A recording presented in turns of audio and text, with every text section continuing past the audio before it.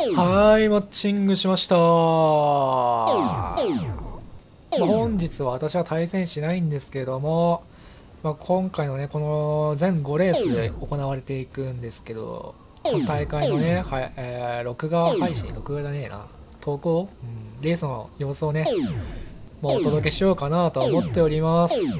まあ、本日ね、お送りする大会は、まあ、J ブリッククラブチャンピオンシップ2023ということでね、まあ、J ブリックの中で誰が一番速いのかというのを決める年1回のね、大会となっております。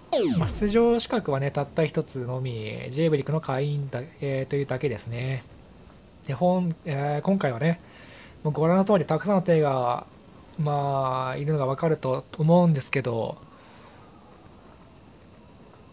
大多数、大定段でのレースを、えー5レース行うっていくというね、フォーマットになっております。さあ、スタートしてきました。なかなかね、綺麗なラインでスタートしていきましたけども、まあ、約半数ぐらいのね、手が、まあ、フレッシュで生き残っていったのかなといった様子ですよね。で残りの半分が、まあ、第2戦、まあ、フレッシュをつかめず、まあ、早々にポートに直していったり、まあ、苦しい位置で走っていったりしていますね。さあ、紙マークまでの様子を見ていきますとね、まあ、右海面の方がブロー強めといったところですね。まあ、風の触れっていう観点いきますと、まあ、もうすぐね、右振れ入ってくるんじゃないかなといった形はしてますけど、どうなっていくんでしょうか。さあ、ほとんどの艇がポートで走っていっているといった現在の様子ですね。さあ、現在一番ひ右にいるのは77選手ですね。まあ、この方は今年に入ってからかな。まあ、j ブリックに、まあ、参入してきた方ですね。さあ、1レース目、なかなかね、いいポジショニングとえ取れてるんじゃないですかね。まあ、エーマ選手との関係がどうなっていくのか。さあ、エーマ選手が先に返したことによって、77選手もね、フレッシュを取って、スタバに伸ばしていくことができそうですね。さあ、そこでミートしていくのが、えー、有効選手ですね。まあ、この人は、まあ、世界的に見てもかなり上位の実力の選手ですね。さあ、華麗なリップを見せて、あ右端に伸ばしていきましたね。さあ、中盤でね、気持ちよく、走ってるのは RY、RY、RY 選手。この人はどこだったっけな？大学生だったと思うんですけども、まあ、どこの大学かは、まあ、覚えてないですね。もう、同志だったような気もしますけども。さあ、その2つ島でね、下,、えー、下請けしていったのは KGR 選手ですね。まあ、2022年のチャンピオンですね。さあ、1レース目から、まあなかなかいい順位で走っているんじゃないでしょうか。さあ、全体的に、もう多くの艇がね、右海面、右に伸ばしているといった状況ですね、現在。多くの艇がポートで走っているといった状況です。さあ、有効選手はバウンダリーまで出してタックをしていきました。さあ、しかしこれ R77 選手にはやや足りないか。さあ、7選どこで返していくのか。まあ、紙がね、えー KGR 選手返したので、まあ、どこでも返せる位置といったところで、まあ、有効選手にタイトカバーをかぶせて返していきましたね。まあ、その一つ下で、まあ、高いのがエイマ選手ですね。まあ、この方も有効選手と同じ横国の選手ですね。さあ、1レース目からね、横国がやや躍動している様子が見受けられますね。さあ、その一つ下で RY、RY、RY 選手が走っていますね。公平選手はここにいます。さあ、左海面、ポートで右テーダーに突っ込んでくるのはお菓子選手。さあ、どう出るか。この後ね、ちょっと右振れがきつくなってくるので、高さがどんどん減って、えー低くなってね、苦しい展開になっていきそうですね。さあ、大きく右に振って、77選手、有効選手、フライングボス選手、オーバーセールしていますね。さあ、KGR 選手はここにいます。まあ、このままか、えー回航できるかどうかっていうのがね、見どころになってきますね。さあ、しかしね、一つ前にいるエイマ選手の吸い込みが少し厳しいか。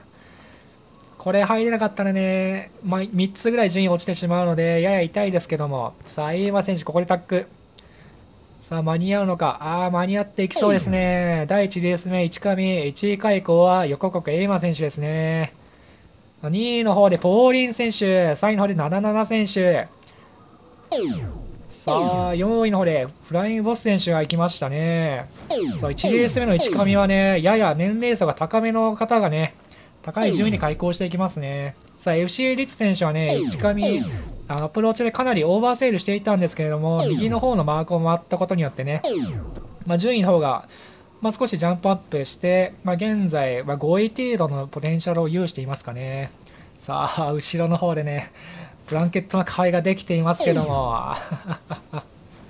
いや、カオスですね。ここの定段にいると、いる選手はね、苦しい展開になってきそうですね、この後。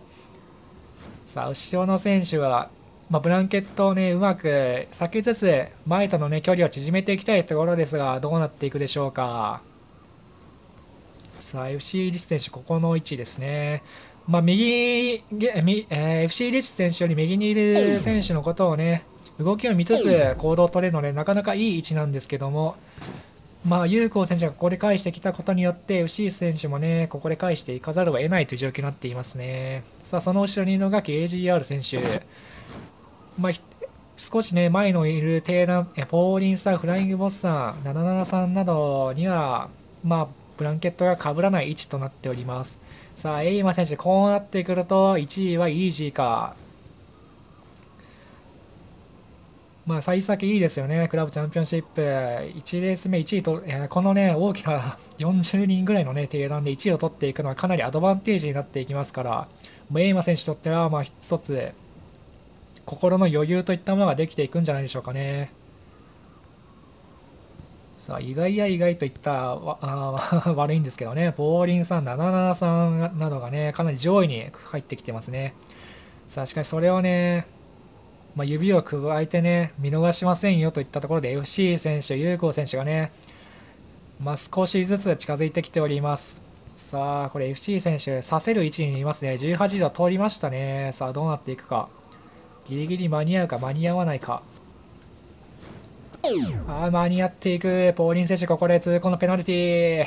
いやー、このペナルティー痛いですね。後ろから有効選手かぶさってきますから。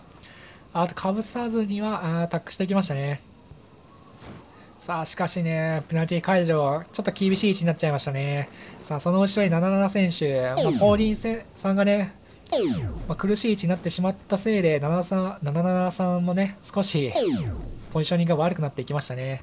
まあ、その隙をついて KGR 選手など、えー、フライングボス選手がね、ポテンシャルの方を上げていくといった感じでしょうかね。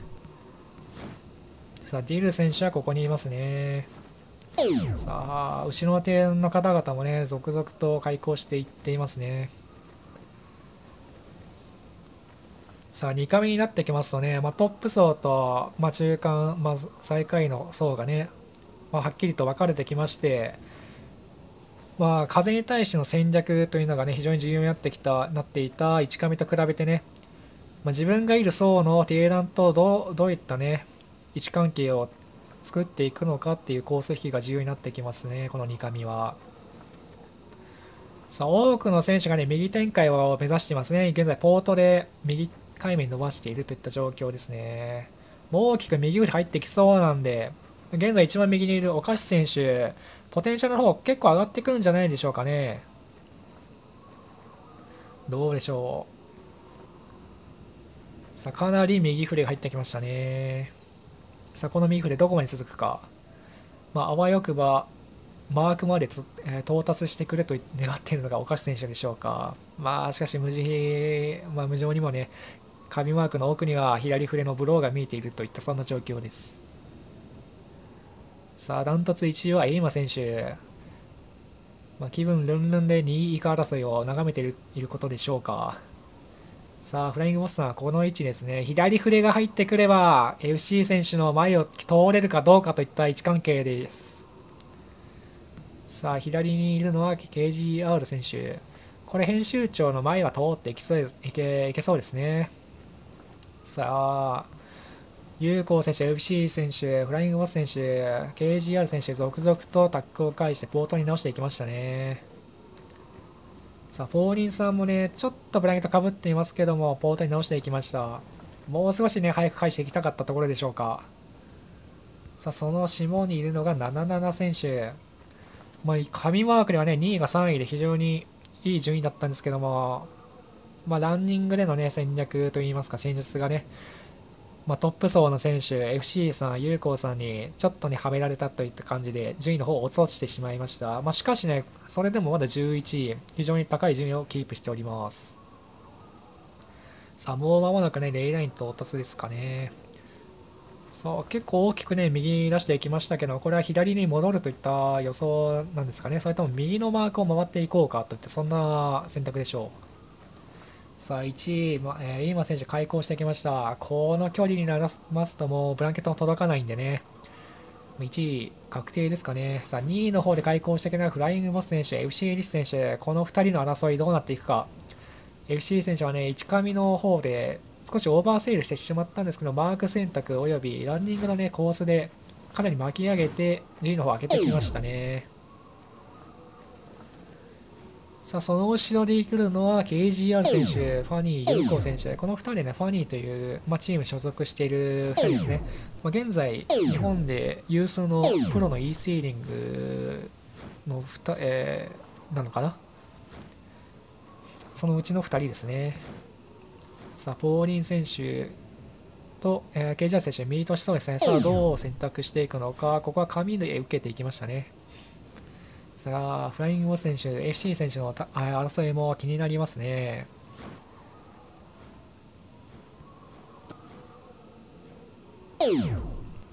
さあ、どうまあ、ここら辺のね、心情、選,、えー、選手の心情としてはどうなんですかね。もう2位、3位といったところに1点差というのがね、まあ、全レース終わった後1点に泣くといった場面も,、え場面もあるんですけども、まあ、十分といえば十分なんでね、ここで恨みを買うよりは、まあ、1点ロスしてでも仲良くいこうっていう 作戦もね、あるんですけど、どう選択していくんですかね。さあ、お互いにね、フライングボス選手や FC リス選手ともに激しい攻撃的なね、まあ、意思は感じられないですね、現在のところ。さあ、フライングボス選手、ここで返していけば、KGR 選手のブランケットを利用して、FC リッチ選手の、ね、加速を、まあ、緩やかにすることはできるんですけども、おっと、ここは FC リッチ選手が返してくるのを警戒してジャイブしていきましたね。しかし、FC リッチ選手、ジャイブしなかったので、まあ、ややポジションに困ったような、そんな立ち回りになっています。さあ多くの後ろのデータ見ていきますと、多くの、ね、人がブロー、も使って落としていきますね。まあ、そんな中、1人ね、ラルの中で1人旅しているのが浩平選手ですね。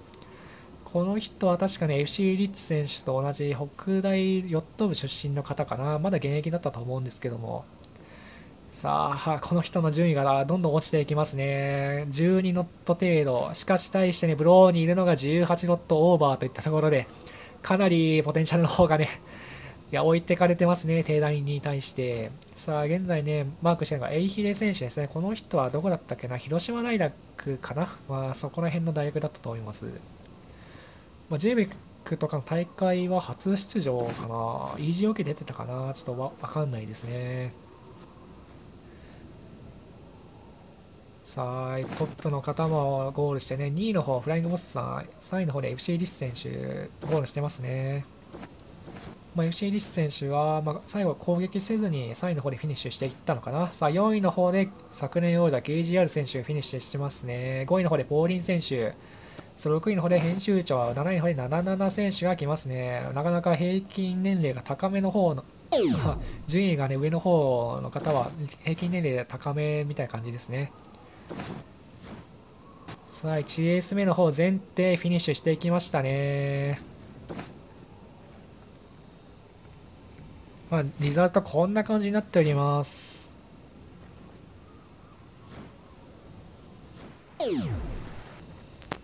さあ、マッチングしました。こちら第2レース目のナクラの方ですね。さあ、今回のレースはね、先ほどお分かりいただけたかもしれないんですけども、前列ね、まあ、ロングの方のコ,、えー、コースとなっております。まあ、現実のセーリングと似たような、まあ、触れが何回か来て、左右のね、どっちに展開してもチャンスがあるような、そのえそんなね、コマントになっておりますね。スタートまで残り13秒。さあ、だから加速が重要ですけども、スタートどういったスタートしていくんでしょうか、皆さん。まあ、下がね、結構人気になっておりますね。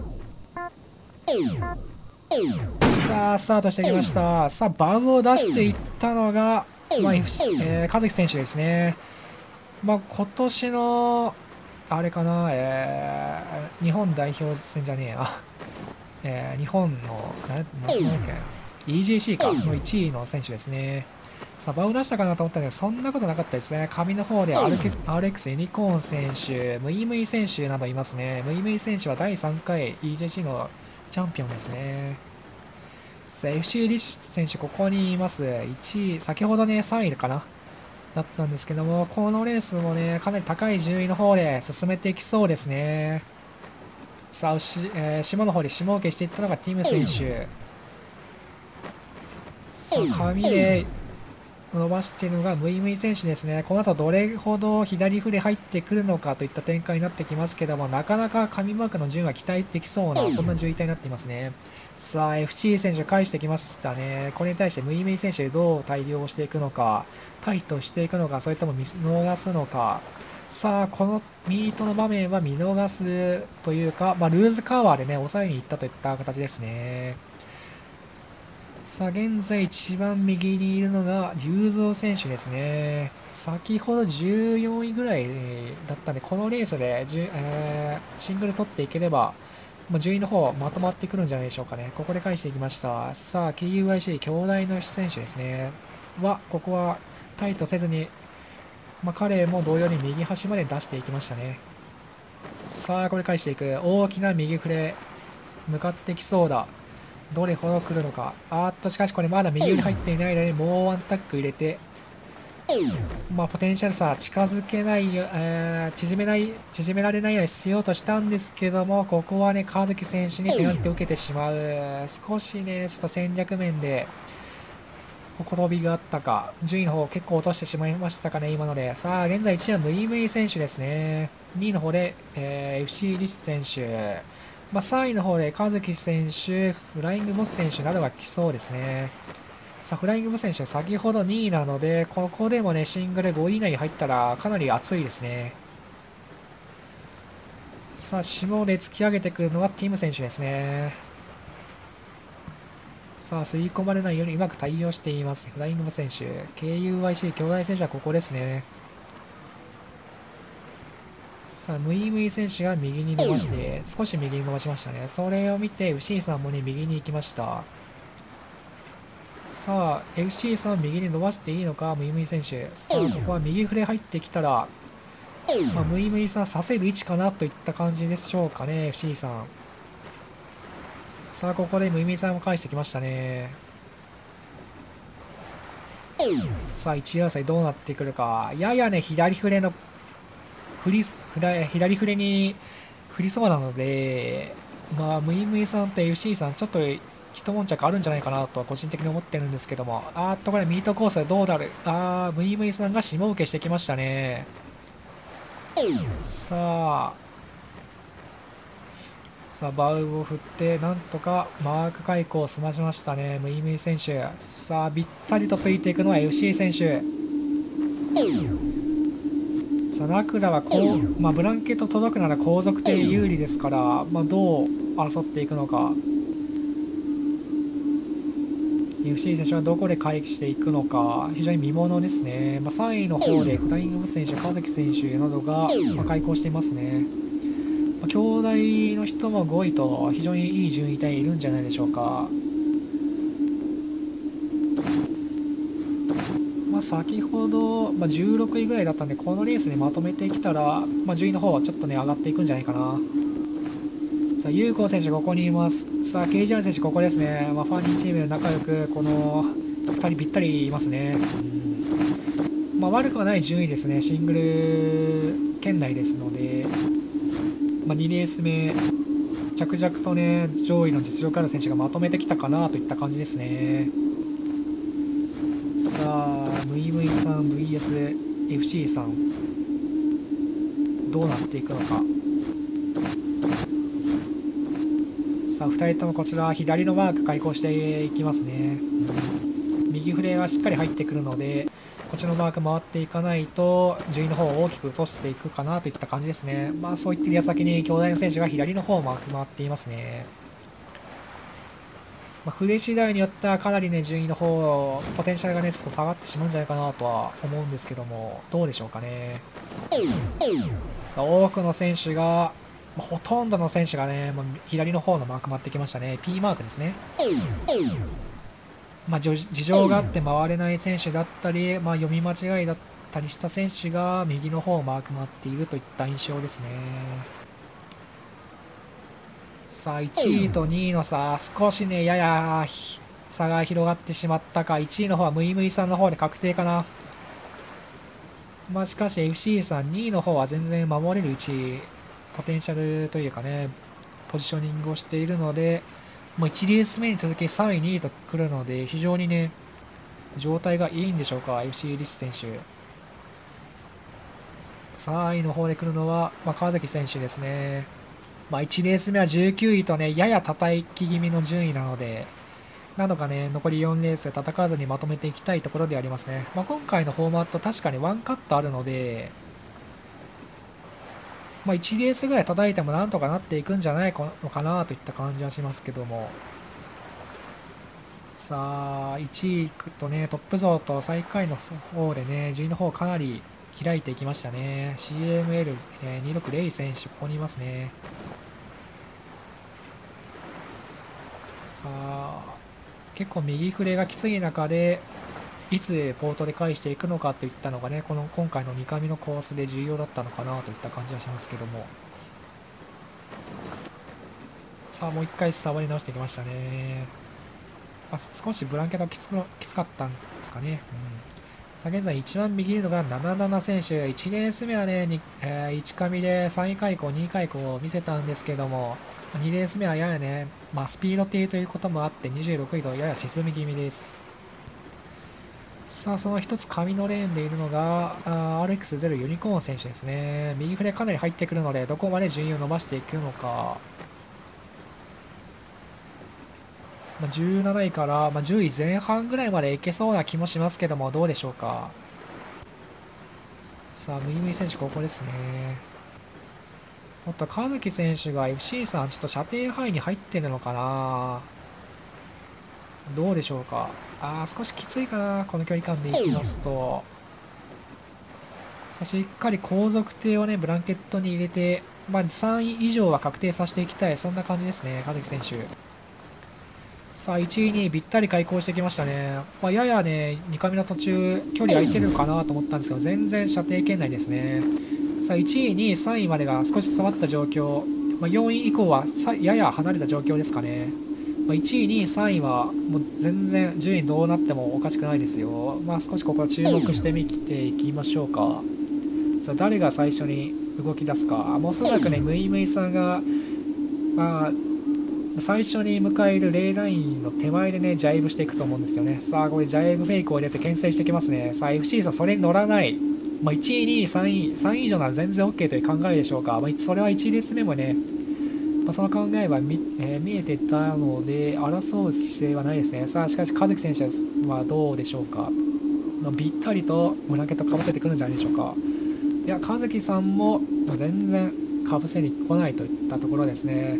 さすがここら辺の上位陣、まあ、1点、2点よりも、まあ、後々のレースのヘイトの方が嫌っているといったそんな状況ですかね。まあ、これ1点、2点ね、稼ぐよりも、あのー、稼いだとしても、後ろのレースでヘイト買ってね、ちょっとぶつけられたりとかしたら、そっちの方の損失が大きくなってしまうので、非常にクールな選択だと思いますね。さあ、4位に来てるのはフライングボス選手。先ほど2位と、このレース4位と非常に状態がいいですね。さあそれを追いかけるのは有効選手。しかし、この距離感で言いますと、もう捉えることができないか。さあ、KGR 戦もここにいますね。さあ、どうなってくるか。あと、まあ、6位なんとかフィニッシュできそうだ。先にフィニッシュしていくのが、あ、KGR 選手。その後に兄弟の人ですね。さあ、続々とフィニッシュしていきます。さあ、源選手。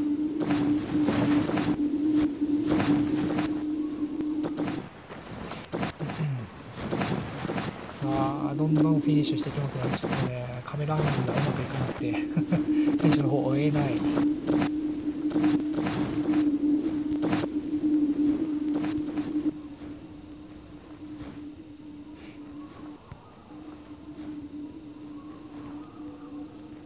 さあ、最下位の層の方も、まあ、どんどんフィニッシュしてるのかなちょっと見えないですけども、泰造志麻選手、がもうまもなくフィニッシュして2レース目も全艇フィニッシュしてきましたね。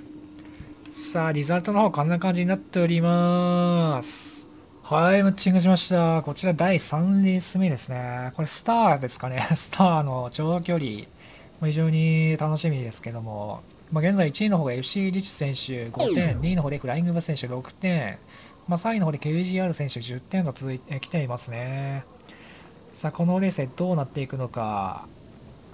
さあ、紙マークのまで風見てあげるとどうなんですかね、これ。左振れの予想出ていますけども、やや紙,、まえー、紙スタートが人気、そんな状況です。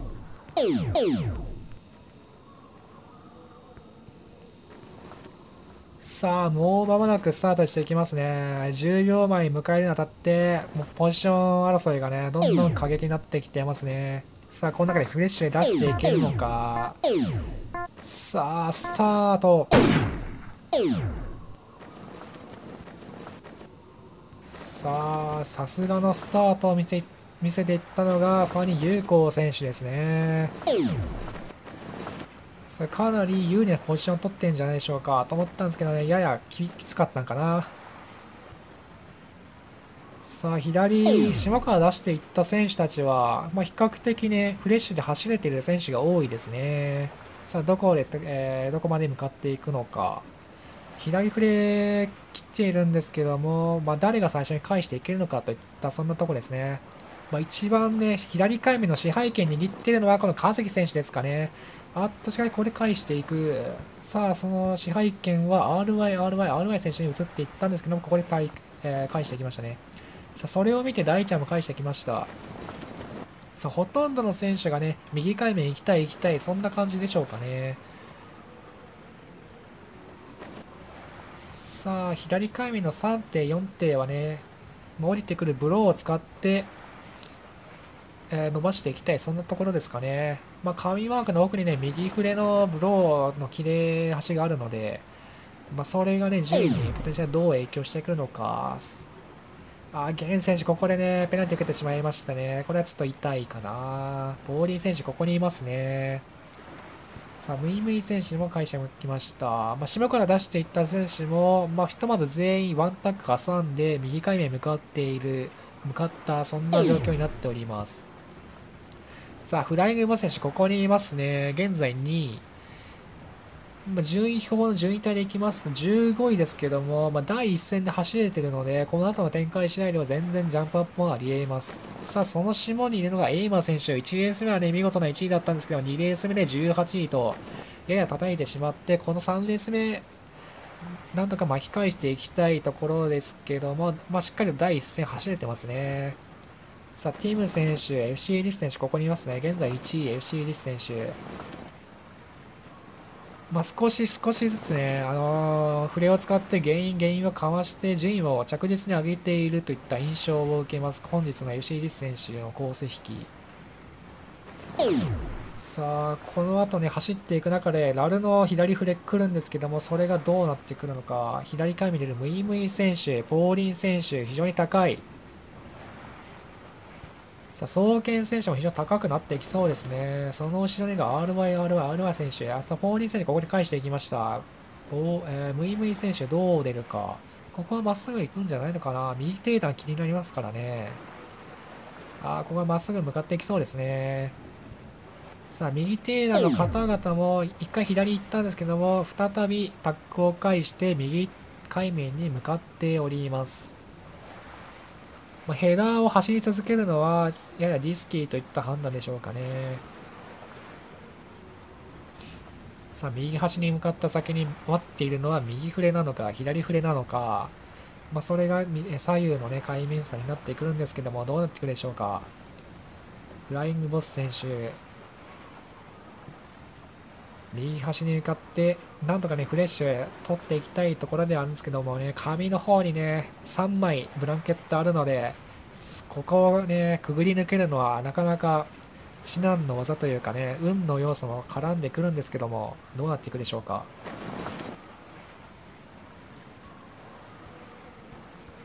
さあ、真ん中付近でね、やや気軽に走っているのは大ちゃんですかね。大ちゃん×選手。真ん中で右フレ右左どっちのフレにも対応できるポジショニングをしていますね。さあ、ここら辺でね、フレの方が見えてきましたでしょうか。右フレですね、最後は。ここで一気に右テーラーのポテンシャルが上がってきそうです。さあ、ファニー、優子選手が、ここは主導権握ってきそうですね、右海面の派遣は。さあ、その後ろを通っていったのは FC リッチ選手。さあ、フライングボス選手にゆるーくタイトカバーをかぶせて、どんどん吸い込んでやろうかといったそんなタックですね。さあ、ベガス選手、ここにいますね。ベガス選手の順位はこれまでね、11位、13位と真ん中付近で、えー、真ん中付近の順位帯になったんですが、ここで一気に爆発させてね、順位のを上げてこようかなといったそんなレースになってきています。さあ、途中まで非常に高かったムイムイ選手、ポーリン選手なんですけども、この右フレで一気にね、ポテンシャルの方下がっていきましたね。さあ、かなり右フレ入ってますね。さあ、左フレ入ってくるなよと願っているのはティム選手。このまま開口していきたい。しかし、無情にも左フレに戻りつつある風ですね。さあ、その下にいるのは大ちゃん選手。右右左どっちのフレにも対応できるポジショニングをしていたので、このビッグシフトの被害は少なめか。さあ、左フレに戻ってきたんでね、ムイムイ選手、ポーリンさんのポテンシャルもね、戻ってきましたね。さあ、イーブンでぶつかるのか、果たしてもう一回右左のどちらかのフレが来て、差をつけていくのか、どうなってくるんでしょうかね。さあ、ムイムイさんがね、頭一つ抜けているか、ポテンシャルは。どうだろうな。いやー、右低段の方が高いですね。まあ、しかし、右のレイラインの壁は全然厚くないので、くぐり抜けていきそうなムイムイ選手ですね。さあ、上位5位、6位、7位ぐらいまでの人がね、全然ポテン、えー、ブランケットかぶっていきそうですね。1下は。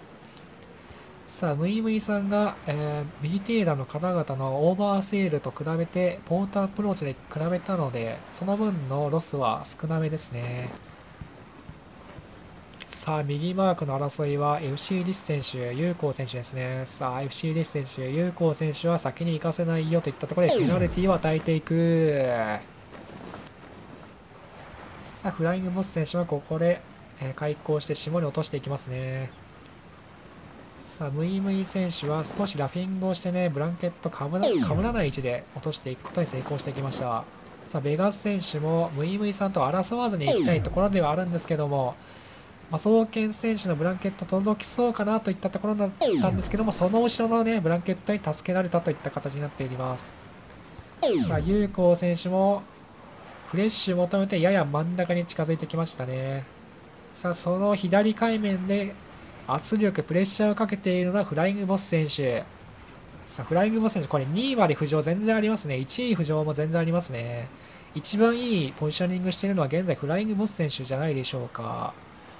左海面にいるのは LC リス選手、ティム選手。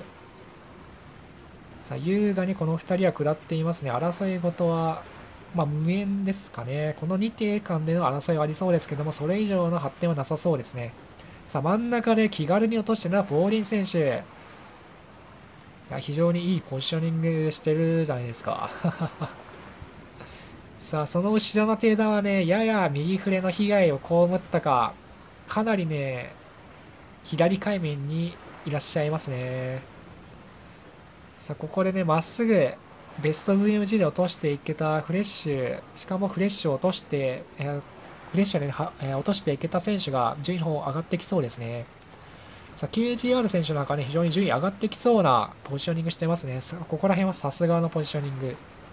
スタートの方やや沈んでいたんですけども、まあ、構図の方で、まあ打開のチャンスをどんどん作っていって順位の方を上、えー、上げていますね。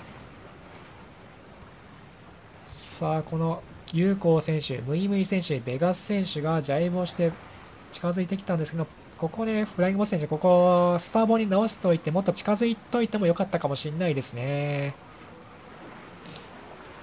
まあ、この3点に対してアドバンテージ取れる位置だったんですけども、ここは、まあ、争いわずに行こうといった、そんな魂胆でしょうか。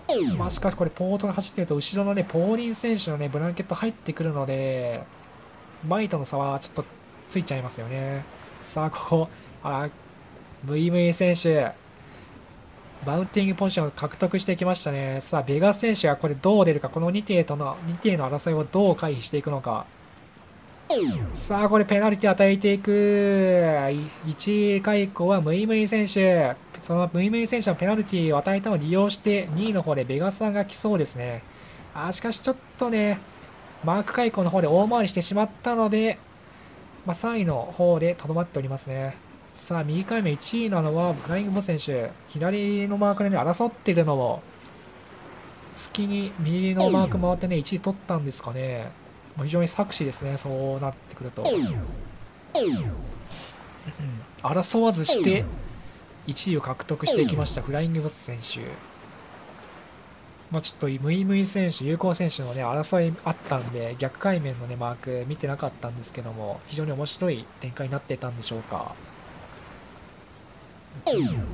さあ、えー、KGR 選手、ここにいますね。おっと、非常にいい順位帯に上がってきてんじゃないでしょうか。さあ、後ろの方々は、まあ、これかなり右触れてるんですけどね、こっちのマーク回ってる方が非常に多い。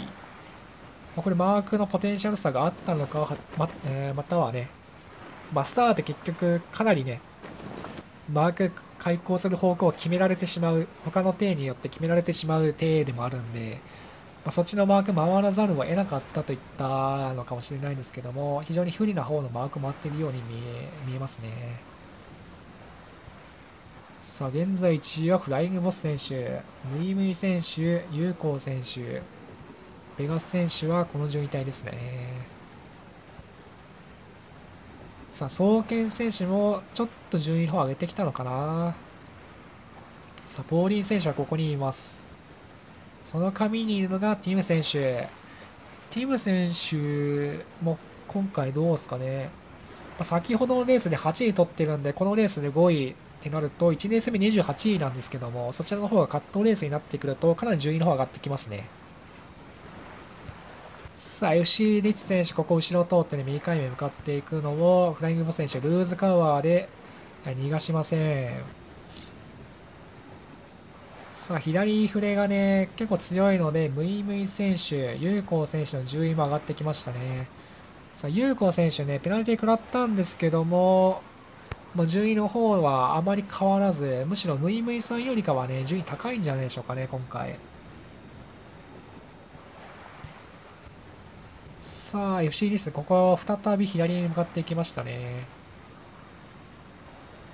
さあ、どこで返していくか。ここ、下受けしていきそうですけども、どうですかこれ、最後、右フレ入ってきそうな気もするんですけども、どうだろうね。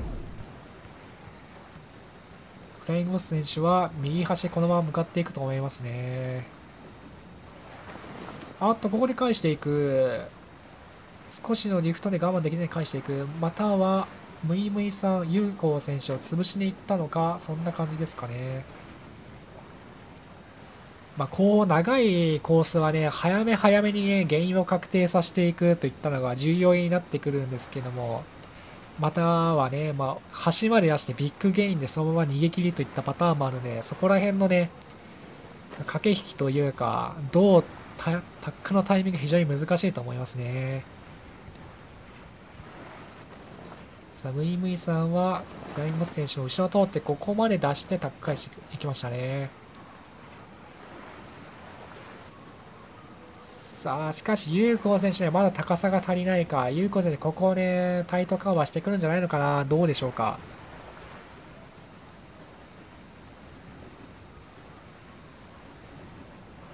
おタイトカバーはせずに前を通っていきましたね。まあ、おのおののコースのね、戦略というかコース引きが、非常にね、違いが見えてきて面白いですね。さあ、ユシリス選手、ちょっとね、ブラケットかぶってしまったので、ツータックになってしまいましたね。さあ、後ろの手の方々はこんな感じですね。まあ、左右に大きく展開しているといった様子から分かるようにね、非常にコース引き難しいといったのがね、分かると思うんですけども、まあ、コースがね、本当に1本しかなかったら、まあ、低段どっちか、どっちかの海面に固まってしまうんで、さあ、大きな左フレが入ってきて、さあ、どうなってくるのか、1位の方でフライングボス選手が来そうなのか、それともオーバーセイになっているため、ムイムイ選手、有効選手が入ってくるのか。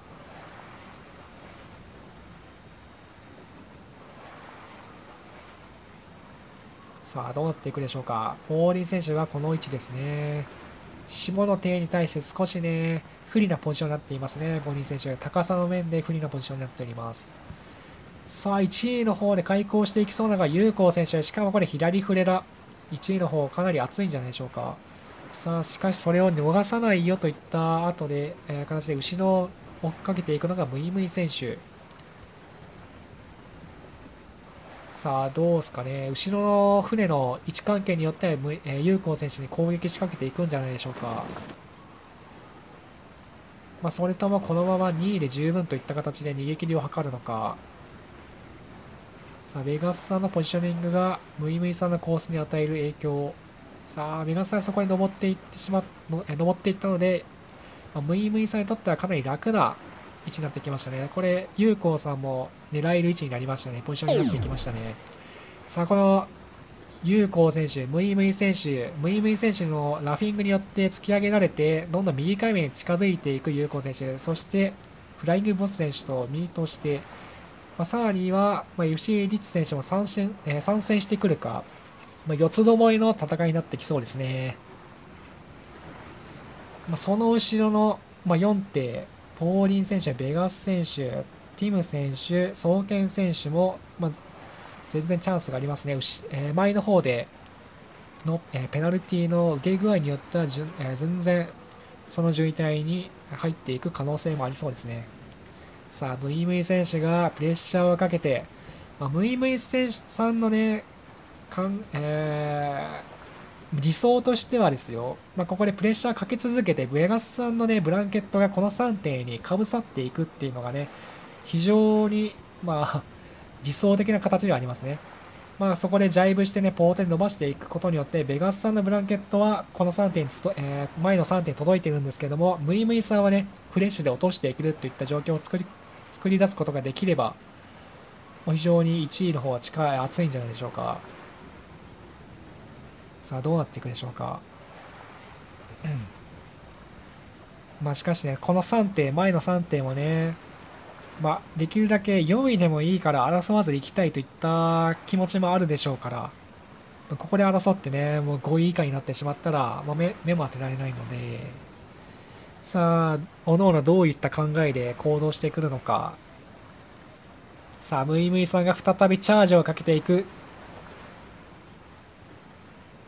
あしかしね、ムイムイさんのポテンシャルもね、ちょっとね、離れてのね、ブラン、えベガスさんのブラケットがかぶってしまうんですね。これ以上近づいてしまったら。これ以上のプレッシャーかけづらいか、ムイムイ選手。さあ、有効選手、フライングボス選手はね、非常に走り、走りにくそうなね、ポジションにしてるんですけども、その隙でね、ガンガン落としていくのがウシー・リッチ選手。まあ、その FC リッチ選手の逃げ切りをね、察知してか、有効選手がね、ガンガンと、あチャージをかけていますね。さあ、ボッサンをね、ちょっとそのチャージを嫌って、一気にね、FC リッチさんに近づいていって、三つどもえの戦いにしていきましたね。さあ、この3艇が争っていけば、ムイムイさんの順位上がっていくんですけども、さあ、これ以上の争いはないか。誰がこの3艇の中で1を取っていくのか。まあ一番風が強いのは、フライングモス選手なんですかね。9.3ノット、0.2ノットですから、この0.2ノットの差はでかいですよ。さあ、FC リッチ選手、フライングモスさん、どっちか、最後にまあ、この距離でいきますと、FC さんがもうフライングボスさん刺しに行くと、有効さんが1位になってしまうんですよね。まあ、かといって、さあまあ、このまま行くのが FC さんとしてはベストですね。2位でフィニッシュしていくっていうのがベストだと思いますね。さあ、この18条最後入っていくか。あっと優しい。あのタイミングで刺しに行けばね、プレイで取れたと思うんですけどもね、まあ、最後1位になりましたね。うん。なかなか面白いレースでしたね、最後はね。さあ、後ろの手はこんな感じになっていますね。もう1位、もう上位の体の方でね、べったりで、後ろ走ってる方にとってはね、出場している選手の中で、もう後ろばっか走ってね、全然映ってないぜみたいな方は本当に申し訳ないんですけどもね。うん。もう前の方走っていただければ、まあ、この動画にもね、乗るチャンスがあるので、まあ、頑張っていってください。さあ、習得選手、ここでフィニッシュしてきましたね。ユニコーン選手、ここですね。編集長26位、77選手25位、7位かな。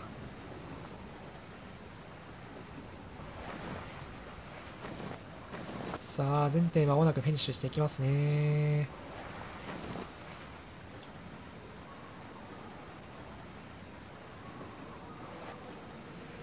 さあ、全体フィニッシュしていきました。リザルトの方がこんな感じになっておりますね。はい、マッチングしました。こちら4レース目の 49er ですね。残り2レースとなってきました。こ、え、今年のクラブチャンピオンシップ。さあ、ラインを見てあげるとね、非常に傾いておりますね。まあ、これがどう影響してくるのか、スタート位置にね。さあ、海面はこんな感じになっております。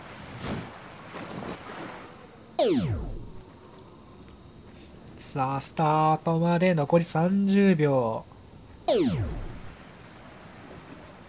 さあ、どういったスタートをしていくんでしょうか、皆さん。まあ、下ピンになっていくのはこの2人ですかね。高い位置で出していきたいといったそんなところでしょうか。さあ、残り9秒。さあ、髪は、髪下非常に混んでいる。さあ、いい位置で出していったのはフライングボス選手。まあ、我先にと一番最初にね、右展開していきそうですね。さあ、ここにいる FC リッツ選手、現在暫定1位ですね。あ今日の FC リッチはノリノリだ。非常にね、安定して、安定した順位を獲得し続けていますね。一つ島に公平選手、有効選手がいらっしゃいますね。上の方には大ちゃん、まあ、サオさんなどがいらっしゃいます。さあ、一つバウが抜けてるのが兄弟。ここにいますね。右フレの次第によっては5位以上あるんじゃないでしょうか。さあ、しかしここで返してきましたね。まあ、右フレが入る前に少し早めに返してきましたでしょうか。さあ、FC リス選手は、まあえー、停滞に対して一番右ですね。そこで返していきますね。しっかりと返しています。さあ、フライングボス選手に、まあ、しっかりとタイトカワーをかぶせて、まあ、ここからね、残り2レース、点数の方離していきたいなといったそんな思惑があるんでしょうか。ま、ここでね、FC リス選手はまたしてもね、5位以内でフィニッシュになってくると、まあ、この時点でもう優勝確定も見えてくるんですかね。カットレ、えー、フライングボスさんがカットレースになったと、まあ、このレースで作ってしまったとしたら、そんな状況も起こり得てきますね。さあ、左展開しているのはムイムイ選手。現在4位、1レース目が15位でカットレースとなっておりますから、まあ、優勝を狙うならここは何としてもシングル以上取っていかないといけないですね。さあ、兄弟選手ここにいますね。まあ、髪の定内よりが高そうですね。これ2以上あるんじゃないでしょうか。いや、そうでもないか。大ちゃんの前通れるかどうか。いや、通れなさそうだ。さあ、しかしなんとか立風して、まあ、ペナルティの方は履行せずに行きましたね。さあ、FC リ選手、ここで、えー、右海面、右フレ出てきたので、すかさず右にフレ、えー、タックして、まあ、順位の方をどんどん上げていきますね。さあ、フライングバ選手もね、やや厳しいポジショニングに落ちつつありますね。なんとか耐えて、5位以内を目指していきたいですね。さあ、これ、龍造選手にどう対応していくか。さあ、ここでディーバーを打っていく。なんとか成功。さあ、前の有効選手のブランケットもね、被らない位置にはいるんでしょうか。まあ、なんとか走れる位置にはいますね。なんとか助かっていっています。さあ、一つ紙に和樹選手、龍造選手がいらっしゃいますね。さあ、大きな右フライってきたので、右海面にいた人はかなりね、減引したんですけども、逆に左海面にいた方々はね、かなりお通夜状態になってるんじゃないでしょうか。さあ、ポートレータックするとね、マークが遠い遠い。全然近づかないですね。さあ、ティム選手はここにいますね。一つ紙の大ちゃん。さあ、エース返していくか。これかなり右振ってるんで、左の方のマーク回っていいんでね、オーバーセイのことはあんまり考えなくてもいいのかなといったそんな状況ですね。さあ、ムイムイ選手は2人のことをタイト側に入れましたね。さあ、サオさんはここで下請け、フレッシュで走っていくことを選択。さあ、フライングボス選手はここにいらっしゃいますね。さあ、1位の方で来たのは、現在暫定1位、FC リッチ、2位の方で有効選手、3位の方で公平選手が来ましたね。4位の方で兄弟、5位の方でサーボさん。ムイムイさんはここにいます。さあ、琵琶湖勢がこのレースやや躍動していますかね。北海道はかなり高い。1位、3位が北海道ですからね。黒い三連星がいらっしゃいますね。日本代表の、まあ、スキンをつけている3点が、まあ、日の日の丸3、えー、3連星がね、1、2、3位と占有しております。違うな。日の丸3連星が2位、3位、4位かな。まあ、そんくらいの順位帯ですね。並んでおります。吉井律選手1位の彼,、え、彼は1人旅。2位の優子選手もね、ここにいらっしゃいますね。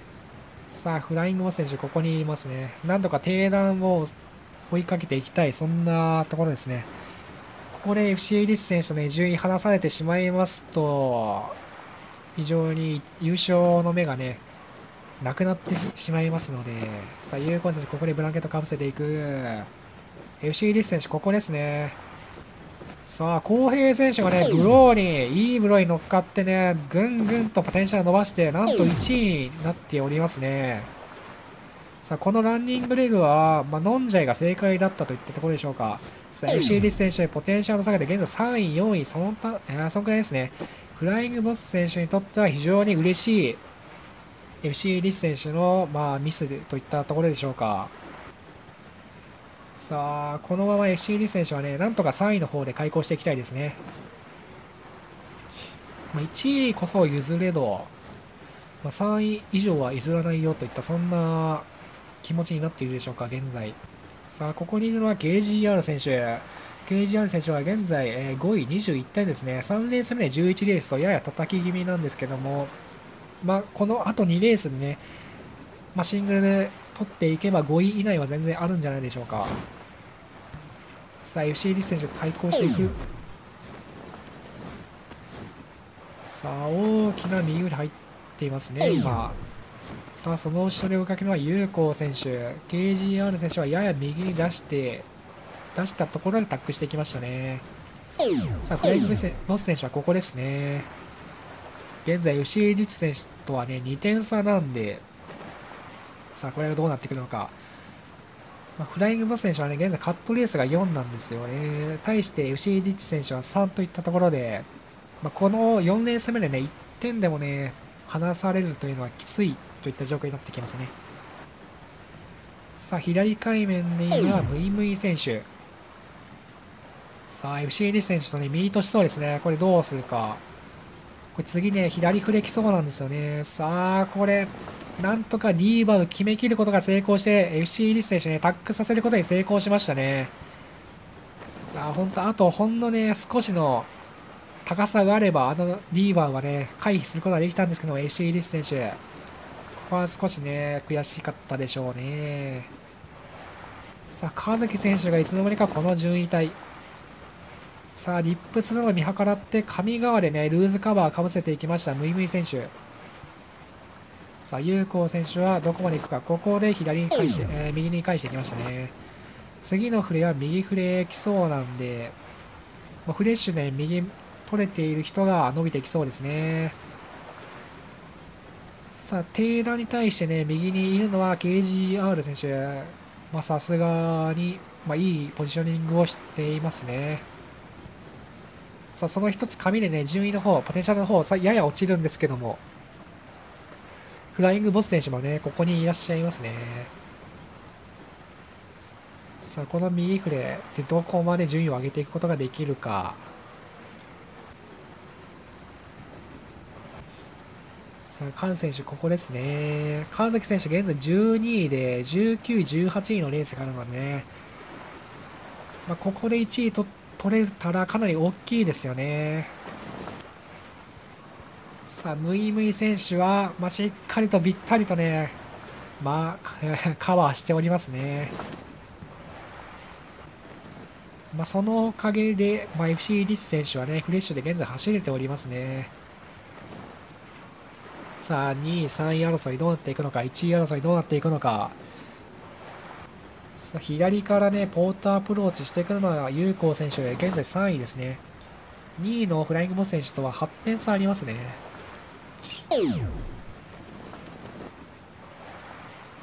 さあ、どっちのマークを回っていくのか。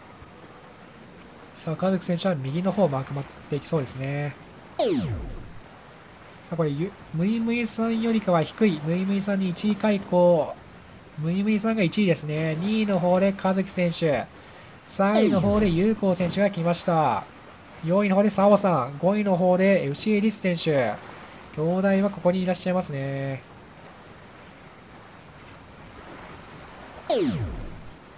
さあ、どう順位は動いていくのか。その後ろから追いかけるのはベガス選手だ。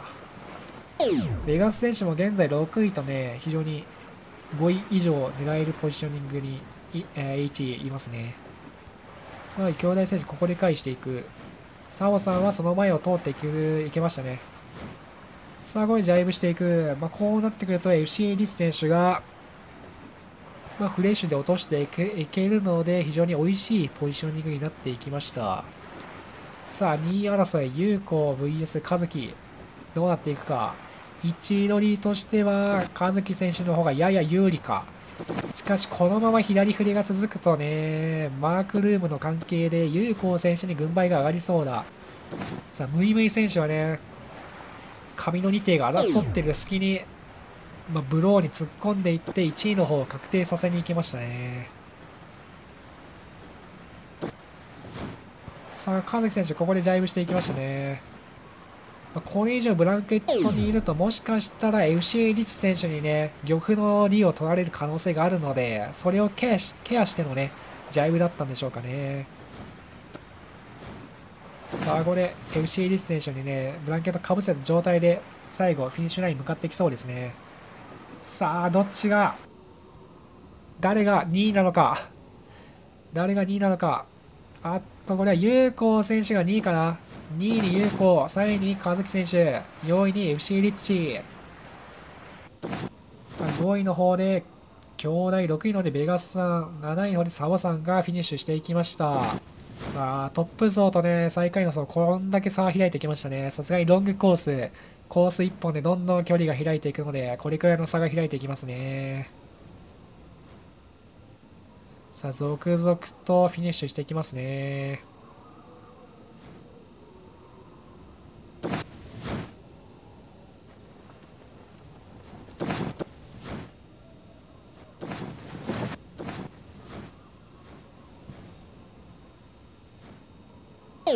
まあ、49er をね、コース1本、ブローラル、フレ、非常にね、それ一つずつが非常に重要なファクターとなっておるんで、一つね、見誤ると、どんどんポテンシャル差開いていくんでね、まあ、難しい停止の一つでありますね。まあ、まずスタートが難しい停止ですから。さあ、これで第4レース目をね、もう間もなく全体フィニッシュしていきます。今年のクラブチャンピオンシップを残るところあと1レース。4レース目のリザルトはこんなこんな感じになっております。はいまだマッチングしておりません。さあ4レース目終わってねまも間もなく第5レース目なんですけどもなんと5レース目終わる前に LCD 選手の優勝が確定しましたね。うん。いやー、素晴らしいかな。いや、まだ確定しないのかな。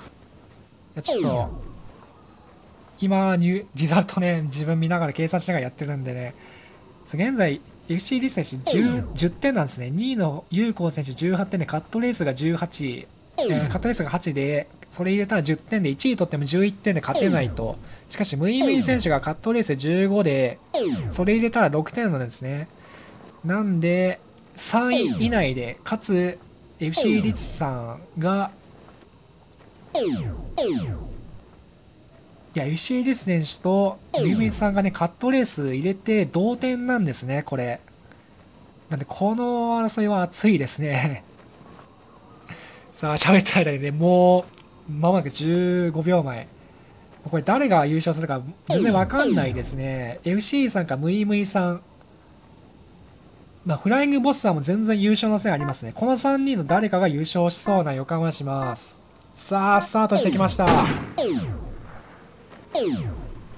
あっと、フライングボス選手、ここで痛恨のペナルティー。優勝争いから一歩退いたか。ケージアン選手もね、ここでペナルティー受けてますね。さあ、FC ティス選手、ここにいらっしゃいます。さあ、ムイムイはどこだ？あ、ムイムイ選手、ここにいる。いや、これは熱い。ムイムイ VSFC リッチ。さあ、有効選手はどこにいるんだ ?2 以上は全然ありますからね、有効選手も。ああ、有効選手、ここにいらっしゃいますね。まあ、揉まれていきそうな雰囲気はあるんですけども、右フレの次第によっては、全然ありえますね。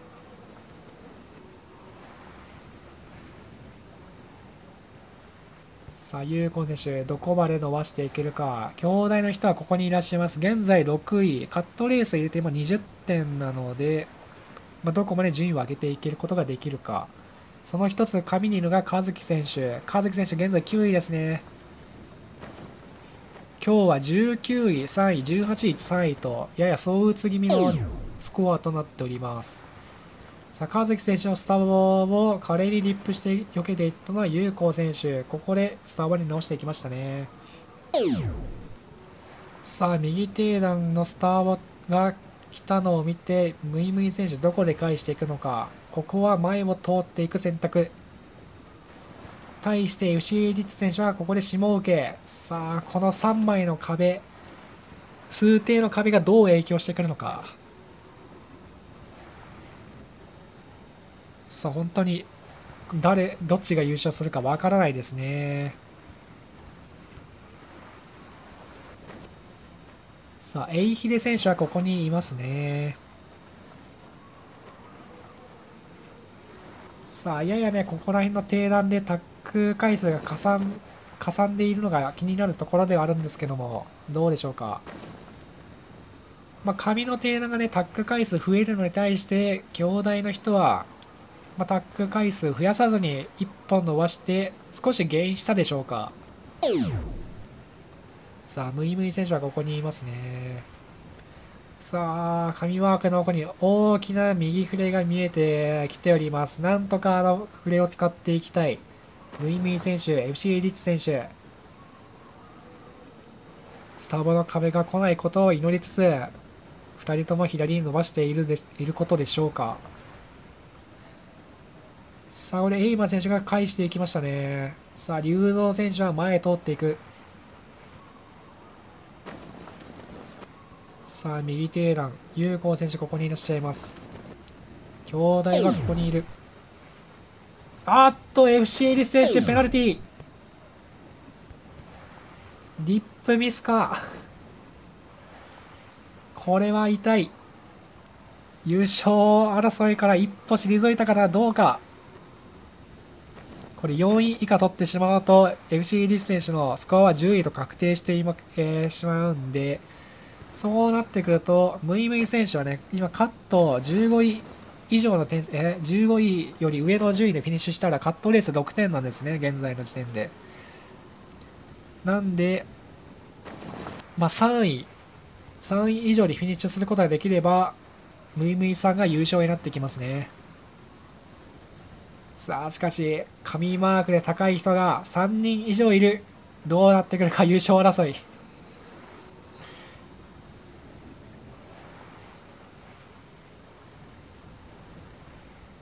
さあ FC リス選手ペナルティーは受けたものの優勝争いが依然としてまあ、オッズは1位ですね1.1倍ぐらいでしょうか現在いやーそれだけね、4レースの出来が完璧。しかも全レーススコアが違うとね、1、2、3、4、1つずつ取っております。まあ、この5レース目で5位取ったらね、完璧なんですけども どうでしょうか。さあ、いやー、低難こんな感じですね。さあ、ムイムイ選手、少し、えー、フレタックでね、少しずつゲインして、順位の方を上げていってますね。さあ、龍造選手、ここにいらっしゃいます。川月選手はここ。有効選手はここ。2位争いもね、気になるところではありますよね。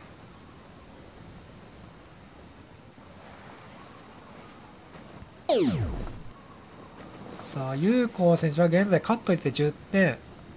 ムイムイ選手は、えー、カットいて6点なので、4点差つけてフィニッシュしていかないといけないといったそんなところですかね。まあ、もちろんムイムイ選手が15位以下に沈んでいったらまた話は別になってくるんですけども。さあどうなってくるでしょうか。そう非常に右フレ入ってきてますから。さあどうか。さこの大きなビビックシフトでね、v、FC さんの順位もね、ポテンシャルもやや回復してきましたね。さあ、筆はどちらの味方をするのか、V メーカー FC か。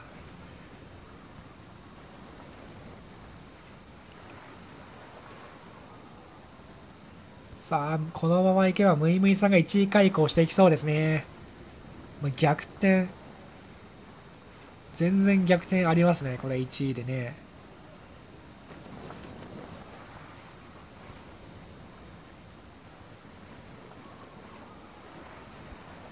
さあ FC リッチ選手がね4位以上でフィニッシュしないとどうなってくるんだ？まだ自分も喋ってる自分もねもう追いついてないんで。あっとああ このペナルティは痛いさあ川崎選手もペナルティ受けている。さあ混雑しているぞこのランニングレグ。ここで頭抜けてきた抜け出せるかどうかがムイムイ選手の運命の分かれ道か。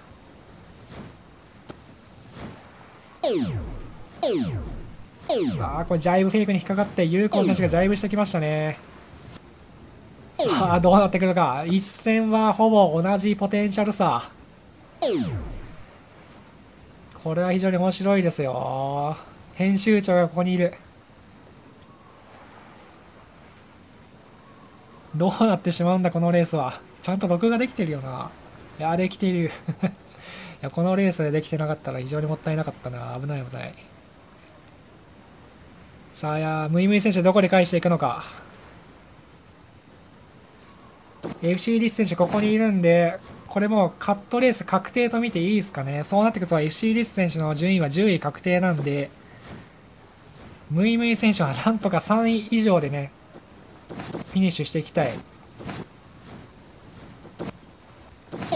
これね、俺はね、あれ、順位分かってるんですけど、これ、選手のみんな分かってないんですよ。今回、セイルランクスの記入が、なんていうのかな、全レース終わった後記入なんで、これ選手のみんなはね、順位分かってないんで、俺がこうしたらいいっていうのは、全然選手の方は考え、もう予想だにしないというか、そういう考えに至ることはできない、そんな考えがあるんでね。まあ、しからず。さあ、どういくか。さあ、ここで一番右端に出てたのは、ムイムイ選手。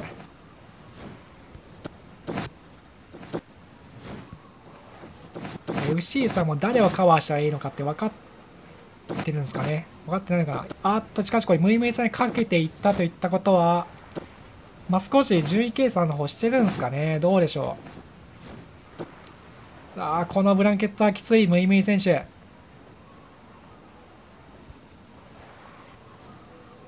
さあこれでムイムイさんが沈んで嬉しいのは FC さんと有効選手。あっと、どんどん前に定段が、いやー、FC リス選手がここで前に出てきた。ムイムイさんの前に出てきましたね。さあ、ここでラップ切って、18条しっかりと切って、ムイムイさんより前で開口していきます。あー、ムイムイさん。いやー、優勝がはるか遠くになる。そんなペナルティーを受けてしまいましたね。さあ、FC さんはペナルティー受けた。しかし FC さんはもう10位以上は確定といったスコアなんで、まあ、10点以上は確定といったスコアなんでね、痛くも痒くもない、そんなペナルティ。さあ、このね、ごちゃごちゃで一番利益を得たのは有効選手。現在1位。カットで今10点なんですけども、この1位を加えて11点。2位。2位ですね、このままいくと。さあ、1位、2位はね、FC エリス選手、ユーコン選手になってきたんですけども、3位は誰だ？全くね、このレース、全然見てなかったんですよ。KGR 選手がね、一番近いんじゃないのかな。いや、そんなことない。兄弟選手もかなり熱いですね。これ、お最後にね、右フレ来るんですけども、これどうなってるんだ？わかんないぞ。KGR 選手が、ね、今カット12点で、現在のスコアが21点になるんですね。で、兄弟の人がカット16で20点。1点差ですね。いやー、これは、どっちが3位だってもおかしくない。で、フライングボス選手どうなんだ？ボスはも全然あるんじゃないか。勝っといて、今ね、8点なんですね、フライングボス選手。スタートでミスってこそ、あの、優勝争いから脱落かとは言ったんですけども、14点。現在12点ですよね。うん。いや、この三つどもいいっすね、3位争いは。フライングボス選手、KGR 選手、KUIC、兄弟選手。ベガスさんは？ベガスさん。ベガスさんも結構高いっすよ。ベガスさんも8位。いや、いや、熱、熱いな。3位争い熱いね。ベガスさんが勝っといて23点ですね。いや、そうなってくるとね、フライングボス選手がちょっと頭抜けてんのかないや、フライングボス選手がかなり3位近いんじゃないですかね。うん。フライングボス選手がこのまま12点でクリアしたら、20点でクリアなんで、3位はフライングボス選手ですかね。いや、3位争い熱いとか言って申し訳ないですね。3位、フライングボス選手ですね。さあ、ムイムイ選手が、そうだけど、ムイムイ選手とフライングボスさんのね、順位表、順位のあれになってくるんですね。さあ、ムイムイさん15点カットなんで、現在6点なんですよね。で、これ9位ぐらいで、まあ、15点。いや、ムイムイさんとフライングボス選手のね、一騎打ちなんですけども、まあ、このムイムイさんとフライングボス選手のね、ポテンシャルさから見ると3位はやっぱムイムイさんか。いやもう話がね、2点3点して申し訳ない。じゃ一人ね、盛り上がってますね。もう多分この時間で、このレースを見て唯一盛り上がってるの自分だけなんですけども、みんなね、スコアのこと全然わかんないですから。うん。リザルト、セールランクス見ながら喋ってる、俺がちょっとね、てんやわんやしてるんで、まあ、走っててプレイヤーも知り得ない情報ばっかですよね。さあ、1位 FC、2位有効、3位ムイムイまでは確定かな。4位、5位、6位争いが、4位がフライングボス選手かな。さあ、5位の方で KGR 選手か、兄弟の人かな。いや、そこら辺が難しいんですね。K、KGR 選手、兄弟の選手、ベガスさんかな4位の方では兄弟がちょっと抜けてんすかね。うん。そんな気がします。さあ、2位。まあ、爪痕残してきましたね、兄弟。さあ、日本代表の選手もね、かなり走ってるんですけども、そんな中でね、しっかりと食い込んでくる兄弟、かなり速いですよね。うん。さあ、ムイムイさんは今ここですね。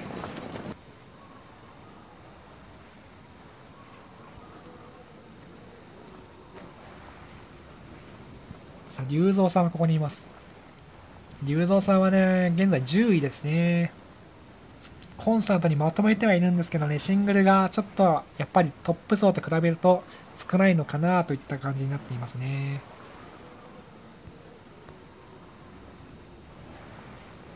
さあ、大きな左フレ入ってきて、一気にポテンシャルを伸ばしてきたのは兄弟。さあ、最後に1位フィニッシュを決めることができるか。1レース目は16位、2レース目は7位、3レース目8位、4レース目は5位、そして6レー、5レース目は1位、2位が見えているといったところで、レースの中で成長を見せてきています。さすがに早いですね。2位の方で有効、3位の方で川崎選手、4位の方で龍造、6位の方でベガスさんですね。さあ、川崎選手はこのレースでも 3, 3位を取ったら、まあ、5レース中3つで3位を取るといった、そんなスコアになってきますね。そうなってくると、カット、カットレースでね、一気に27点まで上がりますから、まあ、5位、6位、7位争いに加わってきますね。さあ、吉井選手、現在6位ですね。あっと、龍造選手、ペナルティ受けてますね。バウンダリー割ってしまったんでしょうか。さあ、ムイムイ選手は8位。まあ、この辺順位変動あってもね、最終的なスコアは変わってこないんじゃないですかね。どうでしょうか。さあ、KGR 選手と、誰の争い、KUIC 選手じゃないな、ベガスさんの争いも気になっていくところなんですけど、ベガスさんも前にいるんですよね。まあ、こうなってくると10位争いの方はないのかな。まあ、商品というかそういうのが出るのは確か5位、5位までかな ?10 位までかなそうかん覚えてないですけども。まあ、激アツな争いはもうないかなといったそんな感じですね。さあ、どっちが最後1位？あと、優子選手が少しね、バウ出てますね。さあ、和樹選手に狙われているのは兄弟ですね。さあ、どう自衛していくのか。あっと、ここで、いいポジショニング。いや、しかしこれ、だいぶ間に合ってしまうんじゃないですかね。どうだろうな。やや食い込んでいく。うんジャイブしたらペナルティ食らいそうですね。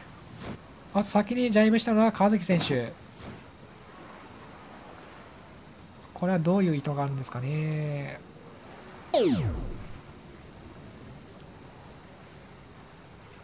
さあ、ブローで伸びていきたい。そんな思惑ですかね。さあ、これ最後のジャイブ。さあ、どうだ。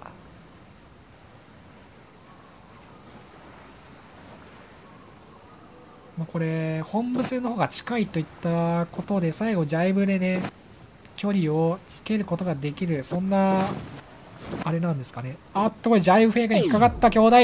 あ見事な最後、ジャイブフェイクでね、G の方にかっさらっていきました、川崎選手。素晴らしいね、戦術ですね。さあ、3位の方で兄弟の選手、4位の方で誰でしょうか。メガスさん、5位の方でエイマ選手、6位、ユーゾー選手、7位、FC リス選手、8位、無念のムイムイ選手。あとここからどんどんね、ポテンシャルが縮まった手がどんどんフィニッシュしていきますね。いや、非常に最後に面白いレースを見させていただきましたね。面白かった。うん。やっぱバーチャルヤットは見る方が面白いな。さあ、もう間もなくね、全体フィニッシュしていって、今年のね、クラブチャンピオンシップの終了になっていきますね。さあ、最後のね、フィニッシュはゲン選手ですね。さあ、フィニッシュしていきました。いや、お疲れ様でしたね。リザルトこんな感じになっております。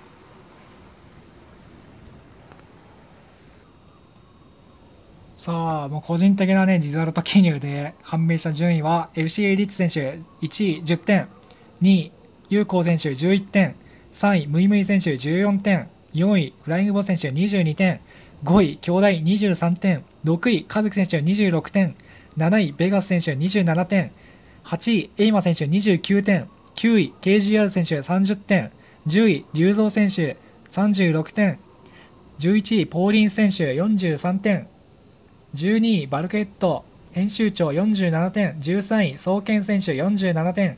14位ティム選手50点。15位大ちゃん53点。16位サボさん59点。17位 RX0 ユニコーン66点。18位サクサク68点。19位お菓子69点。20位77 71点。21位泰造志も77点。22位 CLM26 レイ83点。えー、23位、えー、ゲラード0884点24位習得84点25位公平86点26位かける、えー、88点27位エイヒレ481190点28位ディル、えー、101点29位 RYRYRY107 点30位ゲン1515122点といったスコアになっております。さあ選手の皆さん。ありがとうございました。面白いレースをありがとう。またクラブチャンピオンシップ2024でお会いしましょう。さようなら。